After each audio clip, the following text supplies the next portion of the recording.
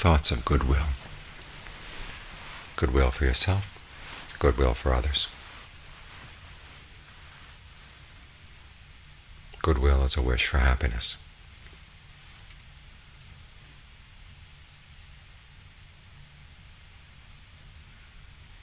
But what we want here is a special kind of goodwill, a wish for true happiness, a happiness that doesn't change. It's not affected by time, not affected by any conditions at all. That's a special kind of happiness, and this is a special kind of goodwill.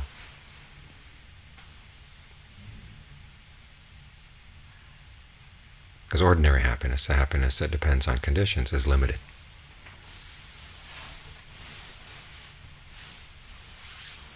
It keeps changing. And many times what gives happiness to one person is going to bring suffering to someone else. Say, for instance, we want rain here at the monastery.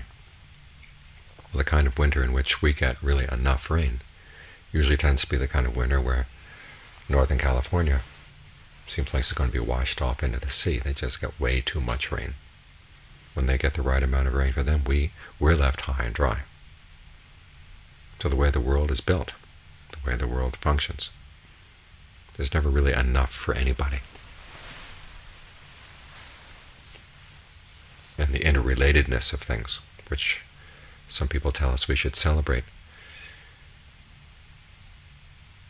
works out in such a way that not everybody gets equal shares. As I said, the kind of weather pattern that brings us enough rain brings too much to somebody else the summers in which we have really nice weather. They have crazy weather in other places of the world. And then it's all connected. So this interconnectedness is not something to celebrate. In fact, it's the problem. The happiness that depends on conditions is always has its limitations. What we want is something that's unconditioned. And the Buddha said it's possible to work toward that given the way that conditions are so complex.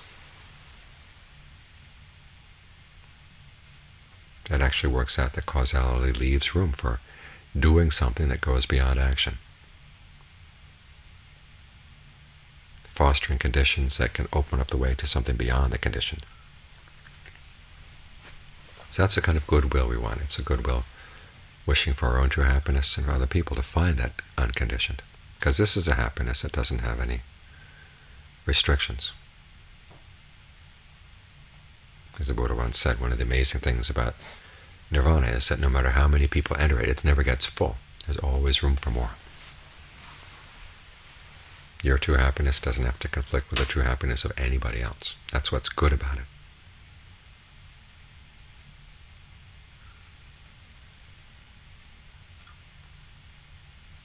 It's good to reflect on that before you meditate. Remind you why you're here. And it sets your sights high. It's a principle in any kind of target practice that you're never going to hit higher than you aim. So aim high. And at the same time, remind yourself of the goodness of the path that we're on. So many other paths through the world end up causing suffering in one way or another, causing harm often. This is a totally harmless path. There may be difficulties along the path. But if you actually follow it, you find your sufferings falling away, falling away. And they're not falling away to land on somebody else. They just disappear. So this is a really good path that we're on here. The question is, how do you stay with the path? It requires mindfulness, alertness, and ardency, the desire to do it really skillfully. Remember, this is a skill that we're working on, the training of the mind.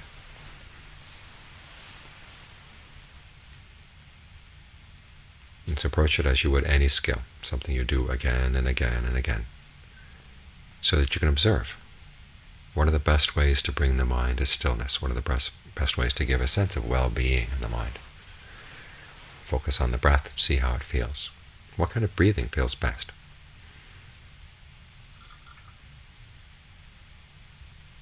and focusing on the breath, you're also learning about the mind. As Ajaan Lee says, the breath is like a mirror for the mind. When you put the breath in good shape, it requires that the mind has to be in good shape as well. Or you're putting the mind in good shape because you're learning to be observant, you're learning to be precise, you're learning to be circumspect, you're learning to be alert.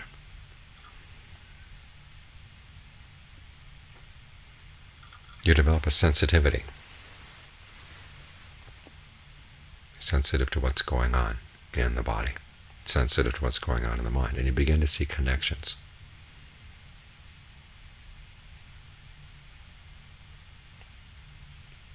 That's where the practice of concentration turns into the, a way of developing discernment.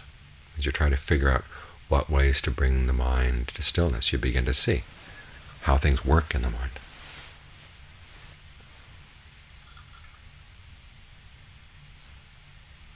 And a lot of the things in your life that seemed very solid and set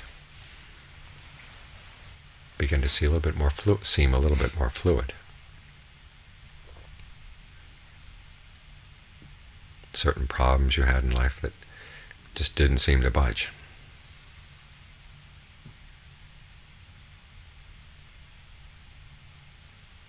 Or seem to be just a given of your life. You begin to realize how they're constructed, how the mind puts these problems together. And when you see that these things are constructed, then you can construct them in new ways. From the Buddhist point of view, there's very little in life that's really given in the sense that it just has to be that way.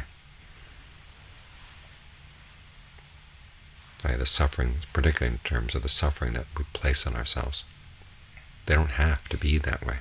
We have the choice not to suffer. We have the choice of putting things together in the mind in a way that's instead of being a burden for the mind, actually becomes a path out of suffering.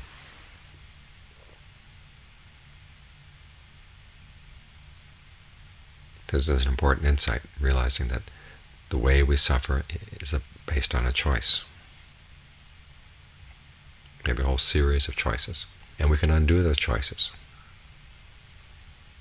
They're not inscribed in stone.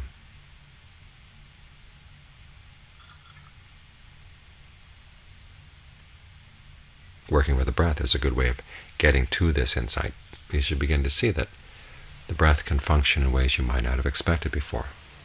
Parts of the body can breathe that you might normally not think of in any way related to the breath at all, and yet they do play a function. They do play a role in the breathing of the body. The whole body can breathe. There's breath energy coming in and out of the body through every pore, all along the nerves, all along the blood vessels, everywhere in the body. There's breath.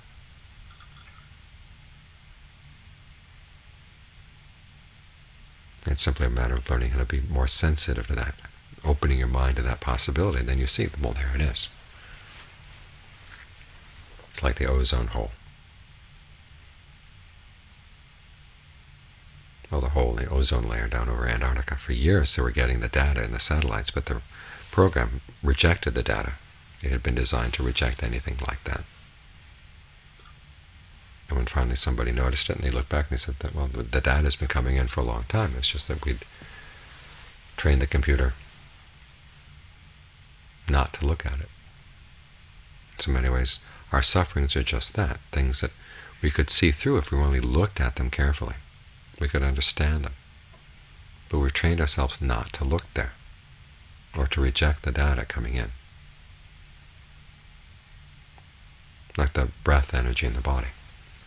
We tend to squeeze it off so that we don't have we're not distracted by it, so we can focus on other things. The things we need to do in order to make a living, the things we need to order to do to function with other people. And we've, we've learned how to function by blocking out this area of our awareness.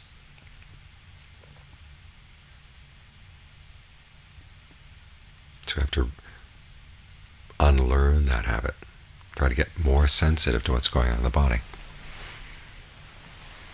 Because that gets you more directly in touch with what's going on in the mind.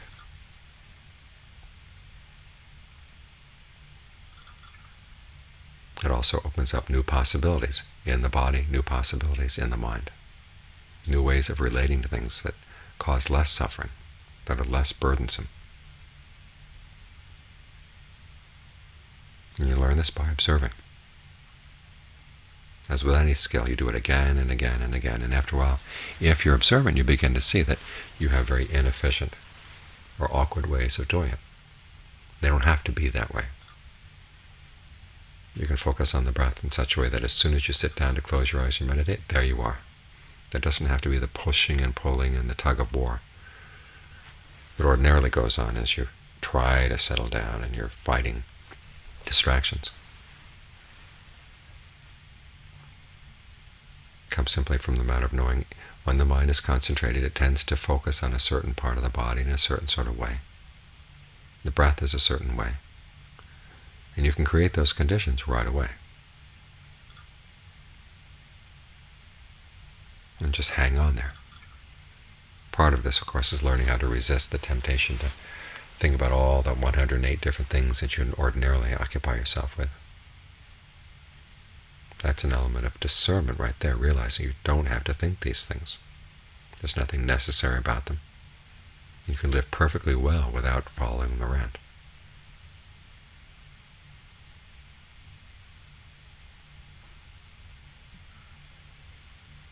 So try to be observant as you work on this skill. The more observant you are, the more you see. And the more suffering you'll be able to cut away, cut away, because you see it's unnecessary.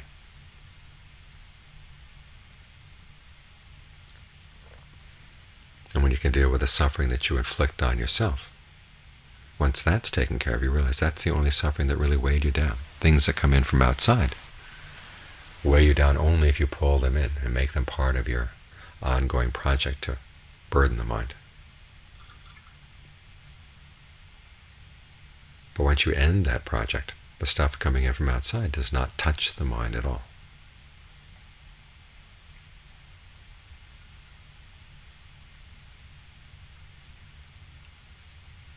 Mind stops causing itself suffering, there it is. Gets in touch with the unconditioned. The happiness that we really want, the happiness that causes no harm at all to anyone. This is why this practice is a very genuine expression of goodwill for yourself, for the world around you. The Buddha never drew a hard and fast line between working for your own good and working for the good of other people.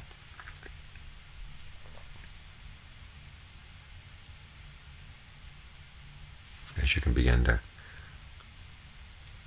cleanse the mind of its defilements and just let the defilements go. You're not the only person who benefits. The people around you benefit as well. And as you find a stronger resource of happiness from within, one that doesn't have to depend on things outside, the more you have to offer other people.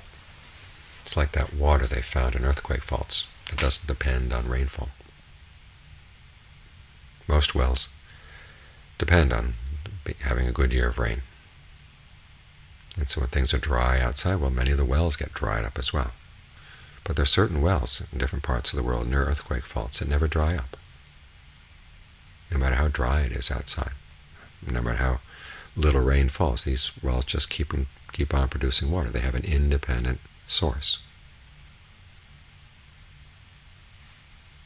So even when things are extremely dry, they've still got water.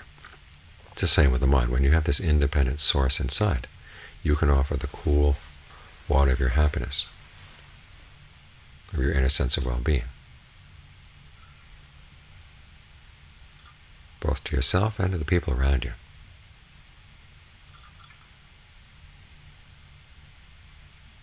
This is why this is such a good path.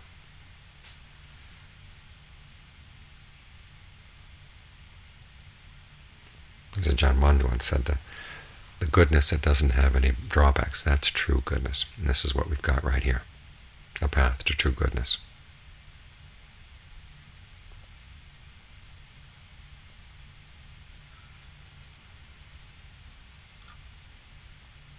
So focus as much energy and as attention you can on learning the skills